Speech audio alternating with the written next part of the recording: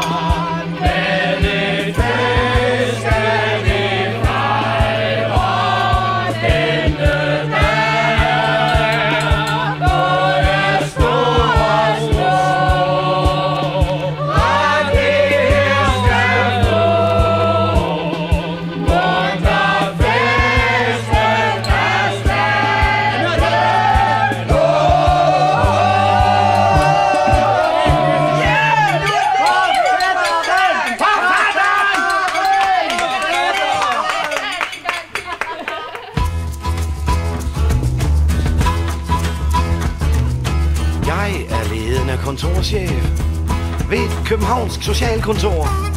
Min indstilling til arbejdet kan læses af den orden, der hersker på mit skrivebord. Når man lever af at arbejde med mennesker, så er det meget vigtigt med en vis etik. Og det er klart, det giver et ganske særligt ansvar at være chef i en velfærdsbutik. Og jeg tør påstå, hvis man spurgte vores kunder, så vil man alle vegne få det samme svar. Personalet her er yderst kompetente. Vil du et andet menneske, når du går fra? Du er klædt af til skinnet, og din menneske være underkendt. Og du får lov at løbe spidsrod, når du kun er klient.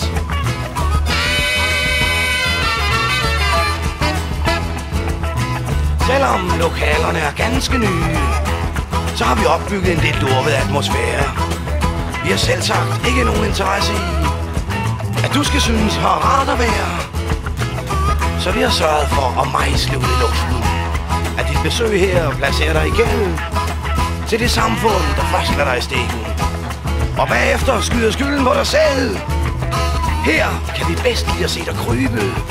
Du skal tikke her og ikke stille krav. Og hvis du påstår, at du ved, hvad du har ret til, ha, så har du allerede gravet din egen grav. Du skal føre dig frem som moralsk valent, for du har ingen ret til stolthed, når du kun er klient.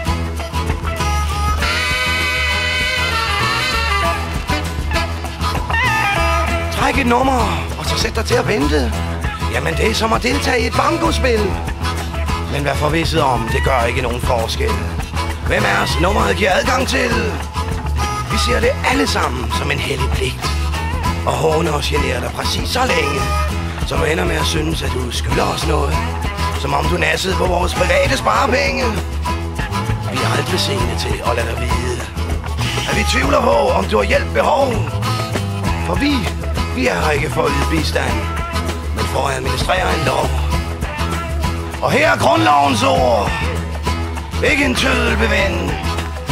For du har ingen rettigheder, når du kun er klient.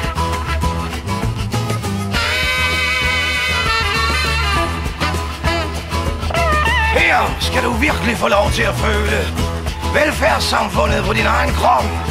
Men du går klogest i at være stærk og ydmyg. For du bliver korsfæstet hver gang du går op. Danmark er berømt i hele verden for solidarisk socialpolitik.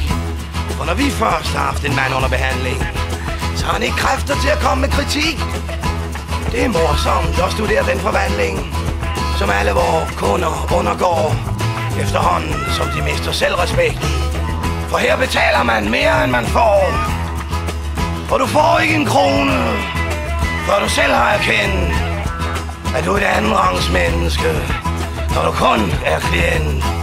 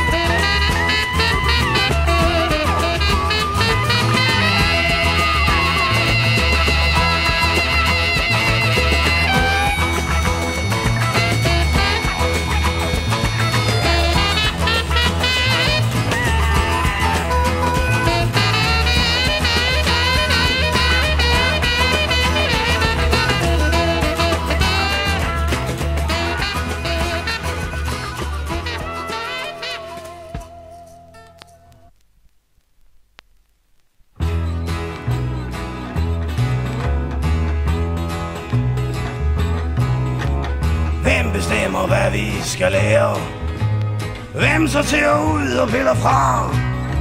Hvem afgør, hvilke spørgsmål, der skal stilles? Hvem fastsætter de korrekte svar? Det gør de, der kun har én interesse. At kapitalens guldvogn aldrig vælter. De, der kun kan være trygge, hvis de sikrer sig. At vi bliver ligesom vores forældre. Der er kun brug for de driftsikre jord. Pengestyret samfundsmaskiner Der er kun brug for de driftsikre jul. Vi er en pengestyret samfundsmaskine. Den gamle er sådan set god nok. Han er bare temmelig meget af et skrog. Han tør ikke engang undskylde sin egen eksistens, uden først at bede chefen om lov. Det er sådan, de vil have, jeg skal være. Det er det, de vil gøre mig til. Afrette mig til en evnesvag brik. De kan flytte rundt på, som de vil. Der er kun brug for de driftsikre jord styre samfundsmaskine. Der er kun brug for de driftsikre hjul. I en pengestyret samfundsmaskine. Mor kan være temmelig stram og bære. Hun har ikke andet i hovedet end ambitioner. Det har altid været hemmeligholdt for hende, at livet godt kan være mere end præstationer.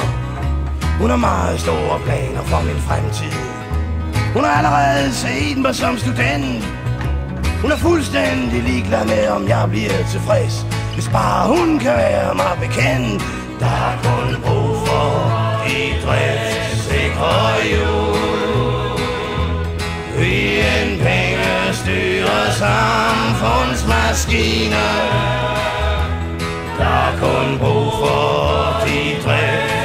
fra hjul Vi en pengestyrer samfundsmaskiner. Ikke for skolen, men for livet. Jeg brækker mig sgu, hvis jeg hører det mere. De snakker samarbejde hele året Men giver individuelle karakterer. Hvis det er erhvervslivet, de mener Så er der selvfølgelig noget om snakken så de straks skal frasortere dem, de kan bruge til noget. Og dem, der bare straks skal ned med nakken.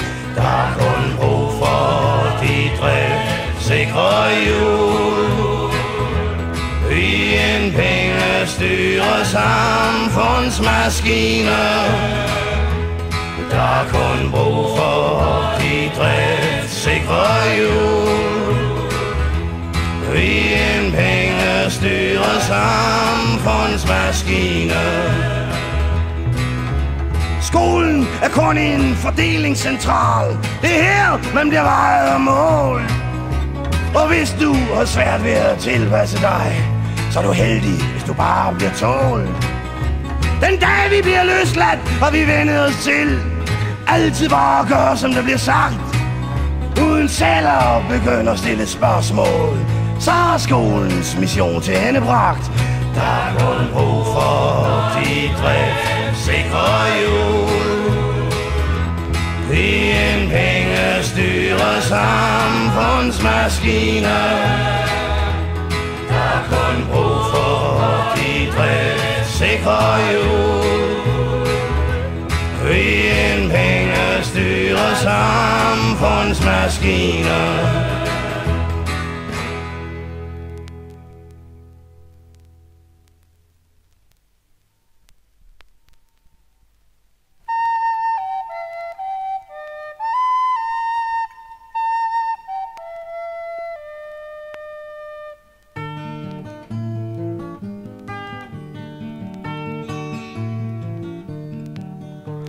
har sat mig for at skrive til jer ved mit plastik køkkenbord. Jeg har tusind ting at sige, men ikke en, der kan siges med ord. Når følelser bliver dybe nok, er ord kun floskler værd. Men jeg må tjene pengene, der hvor jobbet er.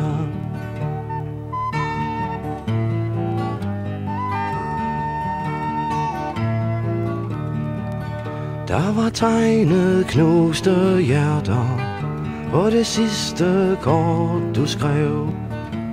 Og kun en enkelt linje.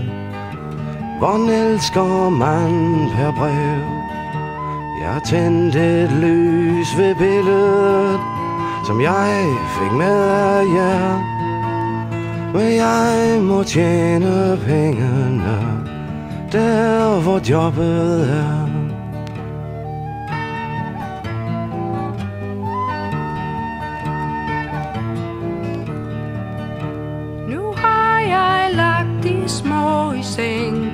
Sover ikke selv. Jeg har sagt, skønt du er borte. Er du far alligevel? Vi lever kun på al kraft Når du ikke er her. Men du må jo tjene pengene. Der hvor jobbet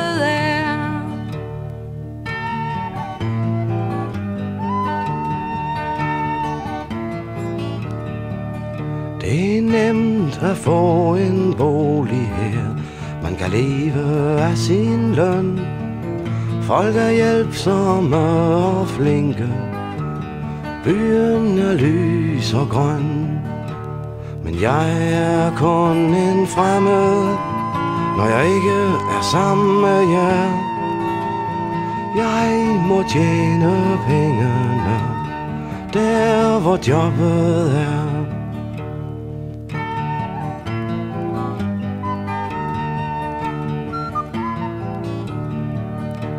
I kommer om et halvt år Hvis alt går som det skal. Vil vi helst være danske. Vi har ikke noget valg. Det bliver svært at starte forfra For ungerne især. Men jeg må tjene pengene Der hvor job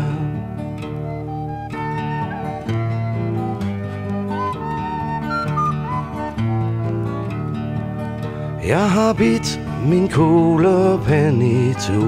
Mit papir er stadig hvidt. Mit starinlys brænder ned nu Mens flammen væser blidt. Det sidste suk hver aften Er sin alle mange af jer Men jeg må tjene pengene Der hvor jobbet er.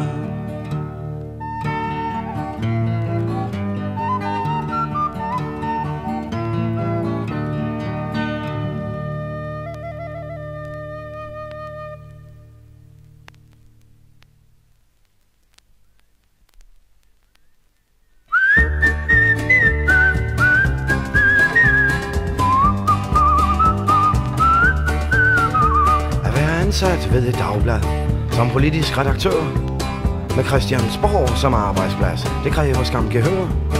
Når der er politisk krise, og tingene strammer til, Hvor man brug for alle færdigheder i taktik og spil.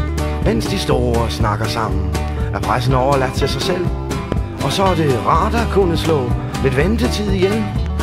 Og skønt det nok må siges, at jeg er blevet ganske kendt for det arbejde, jeg udfører som politisk referent, så er jeg næsten mere stolt af, at jeg de sidste otte år har været krydser bollemester her på Christiansborg.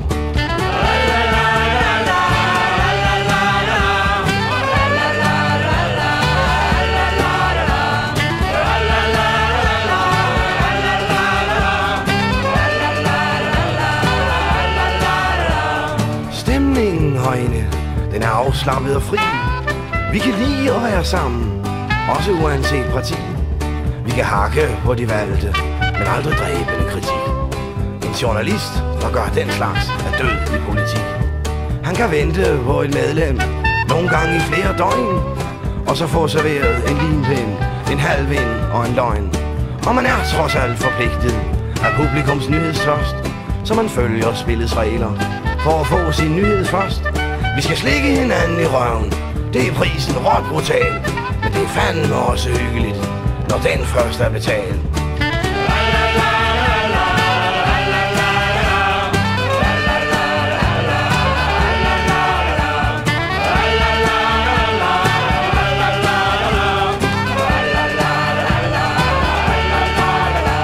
Jeg omgås næsten alle partispidserne privat. De fleste sætter pris på en mand af mit format. Var de måske med, der har længe Skiftede en datter bort? Nej vel, men jeg fik adgang på mit pressekort. Jeg har raflet med Karl Skytte. Jeg har tit taget ham for en dram. Så skal der være forhandling. Ja, så peger jeg på ham. Der er selvfølgelig nogle, der tager mandaterne lidt tungt. Men det er som regel de røde. De er lidt bløde på det punkt. Nå ja, selv blandt eliten kan man finde sorte får. Men dem ser vi heller aldrig noget til uden for Christiansborg.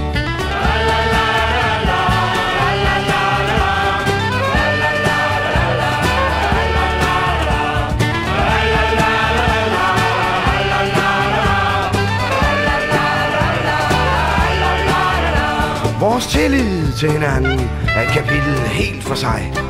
Alle herinde ved, at de kan trygt stole på mig.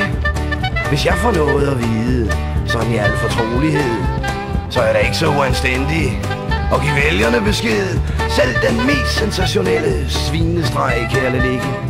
Hvis jeg får at vide, at det er en hemmelighed, så omtaler jeg den ikke. Det er meget smukt det der med at være idealist. Men den går sgu bare ikke som politisk journalist. Folkets ret og folkets tag og alt det andet dyre. Det hører sgu ikke hjemme i det danske folkestyre.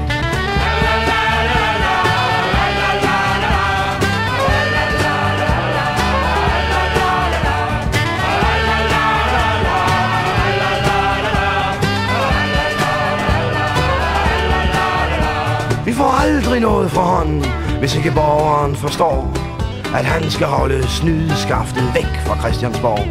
Demokratiet virker bedst i ophøjet i. Jeg ved godt, folket tror, at vi er til for folkets skyld. Og det er sandt i teorien, men i praksis intet værd. Vi er trods alt de kloge, det er derfor vi er her. Og bliver arbejdsroen ødelagt af en Thorsen og en Nash, vil jeg med næb og klør kæmpe for min arbejdsplads. Jeg vil kyle dem på horden med spark og nakkedrag. Vi vil være i fred for folket, det er sgu da det mindste krav.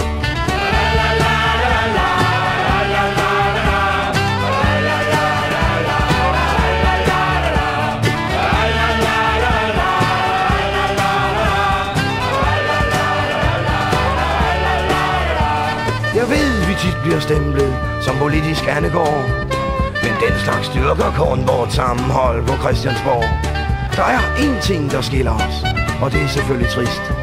Man får mere i løn som folkevalgt end som journalist. Til gengæld kan det ske, at en af dem bliver krydset af. Så man mærker kun den forskel ved valg og lønningsdag. Og nu er det endelig blevet min tur til at slagte sparegrisen. Fra i morgen, der er jeg ansat ved TV-avisen. Så om 3 til 4 år, måske to med lidt held, har jeg en sikker valgkreds, og så opstiller jeg selv. La la la la la la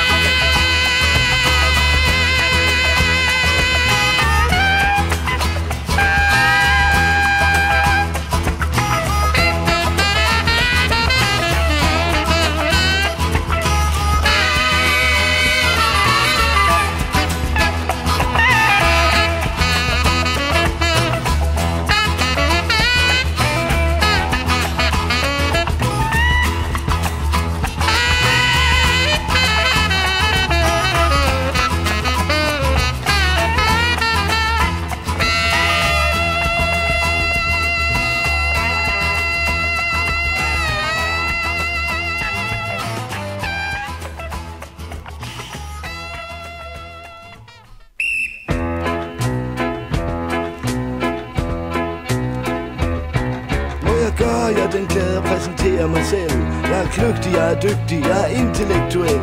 Min indsigt i alting er umådeligt stor Og jeg har en sand kapacitet i dyre ord.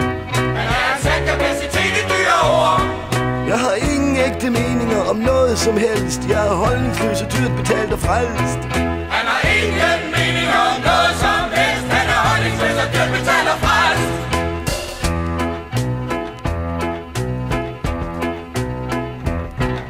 kunne tale om mig selv. Uafbrudt i månedsvis Og jeg gør det, jeg er ansat ved en kendt avis. Det er mig, der er avisens kulturpolitik. Den har jeg selvfølgelig kvalt i retorik. Den har han selvfølgelig valgt i retorik. Jeg har ingen ægte meninger om noget som helst. Jeg er holdningsløs og dyrt betalt og frelst. Han har ingen mening om noget som helst. Han er holdningsløs og dyrt betalt og frelst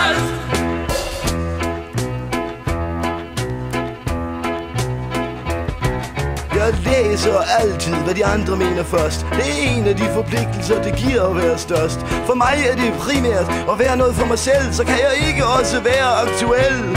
Så kan han ikke også være aktuel.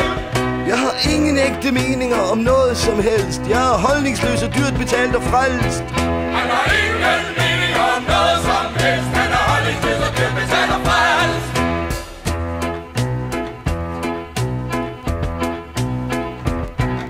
Overalt er det den mening, jeg ikke har, som tæller. Det er først og fremmest mine anmeldelser, der gælder. Det er mig, der afgør, hvilke kunstnere, der skal nå frem Og jeg er 10 gange så meget i løn som dem.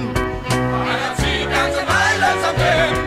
Jeg har ingen ægte meninger om noget som helst. Jeg er holdningsløs og dyrt betalt og frelst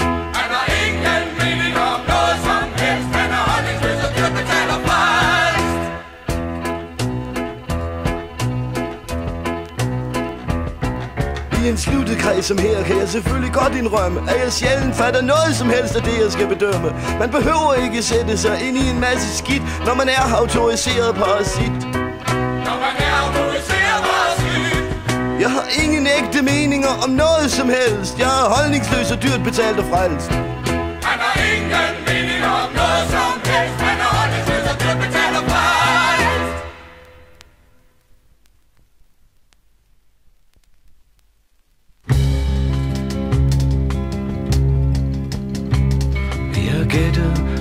kryds og tværs og sammen Vi har snydt med de kabaler vi har lagt. Nu er stemningen imellem os lidt mat Efter en lang og en spændende nattevagt.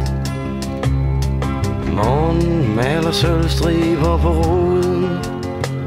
Der er lummet i det tilrøjede rum det kimer for ørerne skøn klokken. Fra stue 1980 er stum Hjerter er ild og sind er krystal. Og en krødret krematorieluft Tiden er moden, de ringer til bal I Folkeforening virkelighedsflugt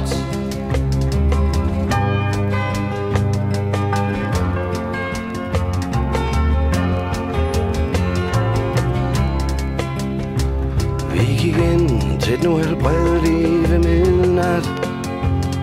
Han lå bag morfintårens slå.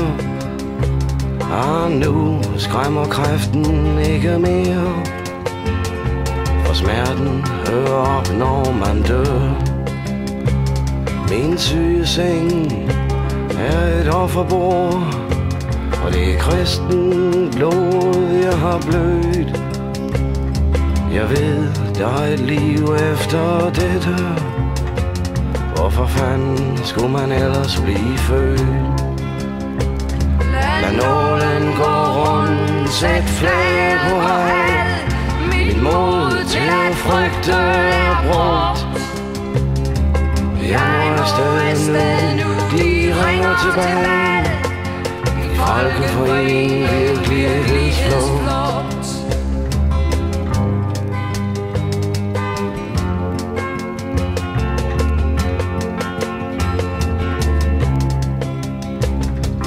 Florence Nightingale Parat med sprit og sprøjte Hun er nøgen og våd under sin kittel. Ja, de lidende og døendes forløser. Barmhjertighed er min titel. Jeg er delt ud af mig selv med rund hånd. Skønt, jeg kom for selv at finde. Jeg er de syge og såredes ønskefri. Jeg har altid ønsket mig at være kvinde. Lad nålen gå rundt, min krop er til salg. Det sidste ønske er brugt. Flå min kittel i laser og tag mig tilbage. I folkeforening flugt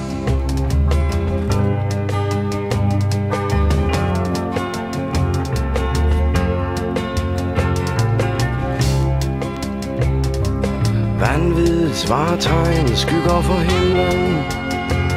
To sole og en meningsløs skorsten. Horisonten viser snærende tænder. Jeg er bange for at komme for sent. Livet smager ligesom sand i munden. Drømmen om i morgen ligesom aske når jeg ser mig dybt i øjnene i spejlet Kan jeg skimte en kanyle og en flaske. Lad nålen gå rundt, jeg har truffet mit valg. De sidste kræfter er brugt. Tag og regn mig i røven, nu tager jeg tilbage. I folkeforening virkelighedsflugt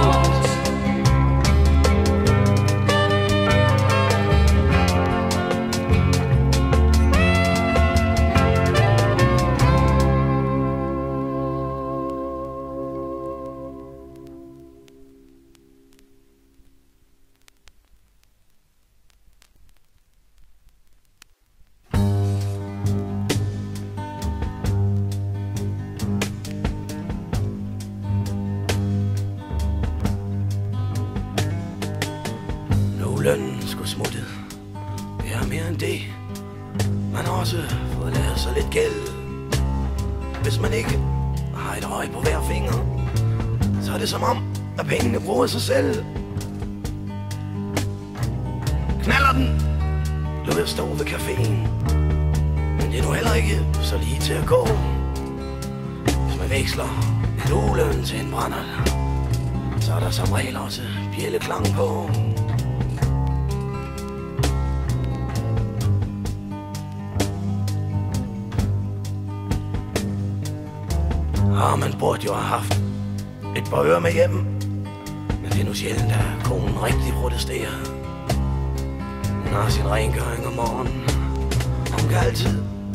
Timer mere.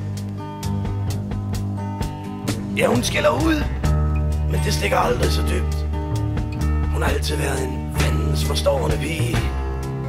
Og hun og jeg, vi kan snakke ud om alting. Der er bare aldrig så meget at sige.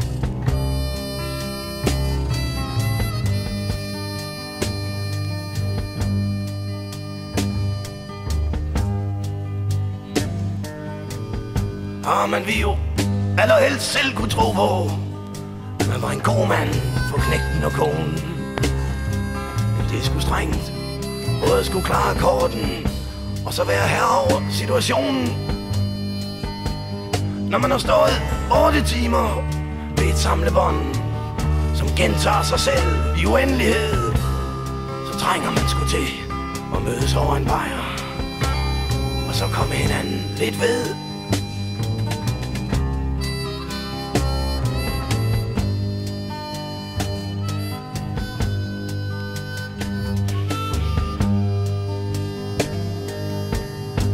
Det i dag, som det løb fra mig i går. Jeg var temmelig fuld, da jeg kom hjem. Og det er noget lort. Og dukke op klokken to. Når maden har været klar fra klokken 5. Det er kold mad. Det har man jo ikke nogen gange før. Og det var heller ikke skideballen, der sved. Men noget, jeg synes, jeg så i knægtens øjne. Noget, der lignede med lidenhed.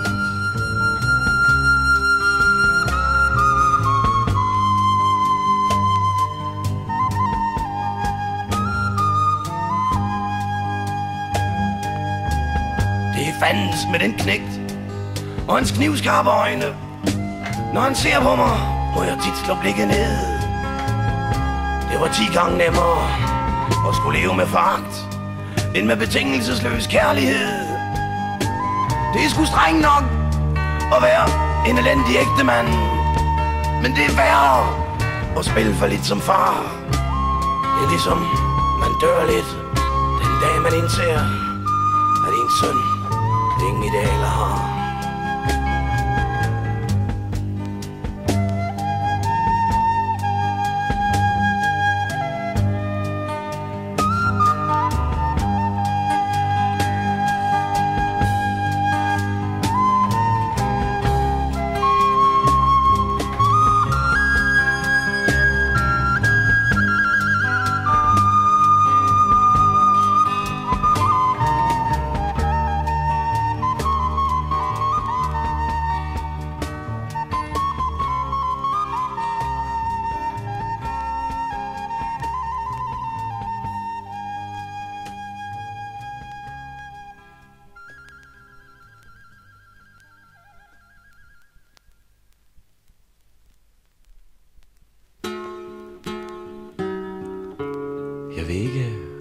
sket med min kone. Men for et halvt års tid siden blev hun pludselig så mærkelig. Det var som om hun lukkede sig ind i sig selv og trak sig væk fra mig og familien. Min kone og jeg har været gift i 25 år. Det har altid været et meget harmonisk ægteskab. Min kone har været tilfreds med at gå hjem og passe lejligheden og børnene. Vi har tre børn. Den ældste det er tøsebarnet, hun er 21 år. Min kone har altid været sådan en meget raffineret pige. En pige, jeg kunne være bekendt at tage med ud til repræsentationsfrokoster. Men som sagt, for et halvt års tid siden, var det som om hun lukkede sig ind i sig selv. Og en aften ville hun pludselig heller ikke gå i seng med mig mere. Så jeg tænkte, at det måske var p-pillerne. P-pillerne havde hun taget uafbrudt i ni år. Og jeg ved, at lægerne siger, at det er meget smart, hvis man holder en pause hver anden tredje år. Men jeg har aldrig brugt mig meget om preservativer.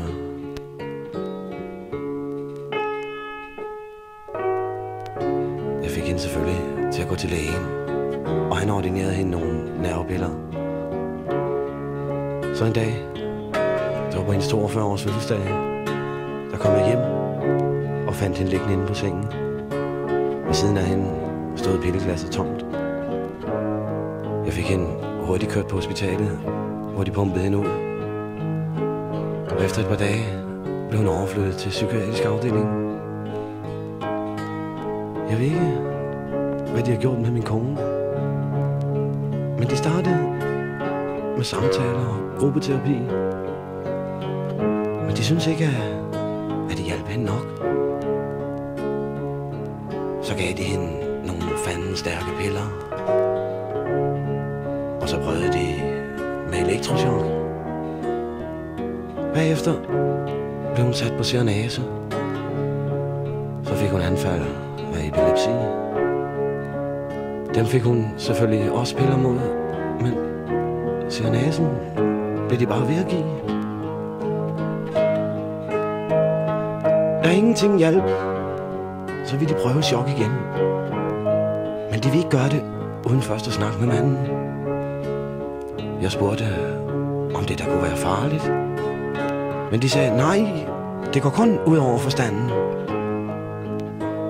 Når vi sender folk strøm gennem hovedet, så ved vi ikke præcis, hvad det er, vi gør. Men vi forsikrer dem. De skal ikke tabe modet. Vi har set det virke helt utroligt før. Men hun, hun trak sig længere og længere ind i sig selv. Jeg tror, at hun til sidst irriterede dem. De ringede pludselig til mig på kontoret og sagde, at jeg kunne godt tage hende hjem. De sagde, at de havde gjort, hvad gøres kunne. Og nu måtte vi alle sammen ligesom prøve at se tiden lidt an. Og det kunne også være, at hun ville have godt af at komme hjem til sine børn og til sin mand. Men hun går bare så underligt restløs omkring. Det er som om, at hun er tom indeni. Hun får selvfølgelig ikke narkotika mere. Men hun har jo stadig sin epilepsi. Og hun er blevet helt ligeglad med, hvordan hun ser ud. Ja, hvis ikke hun var syg, så ville jeg skulle kalde hende en tjuske. Med poser under øjnene og rynker. Er i hvert fald ikke den kvinde, jeg kan huske. Hun går tit i stå midt i en sætning. Hun taber uafbrudt den røde tråd. Så stammer hun og giver sig til at græde. Men vi lader os selvfølgelig aldrig mærke med noget. Vi har ligesom været enige om fra starten, at vi ikke behandler mor som en patient. Snakker sammen derhjemme, som vi plejer. Og lader som om ingenting er hent. Ungerne, ungerne har taget det helt fantastisk. De har aldrig sagt en lyd om det til nogen. De har ligesom rent instinktivt forstået, hvad sammenhold er værd i sådan en situation. Deres mor kan ikke engang klare passe hjemmet. Ja, en gang imellem kan hun dække et kaffebord. Men så tager jeg og den største et ekstra nap med. Så må vi jo skiftes til at være mor. Hun føler, at hun kun er en klods om benet på os. Hun siger, at hun ikke mere er nogen rigtig kvinde. Og hun siger også noget om, at hun er begyndt at indse, hvad det egentlig er, de har gjort ved hende. Jeg ved ikke, hvad det er, fordi hun mener. Men hun siger så mange ting, jeg ikke forstår. Jeg tror ikke, at hun har fattet, hvor højt vi elsker hende. Hun forsøgte selvmord anden gang i går.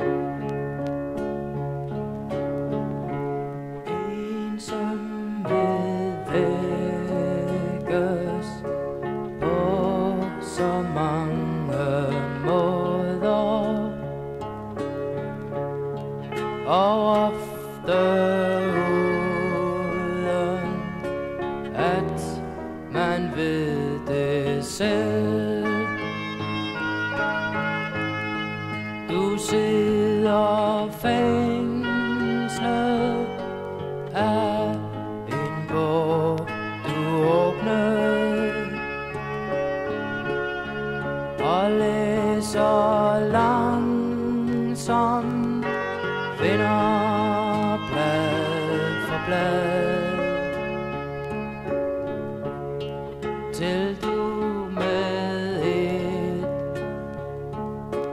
lader hånden synke Gennem stuen fornemmer du en duft, du skulle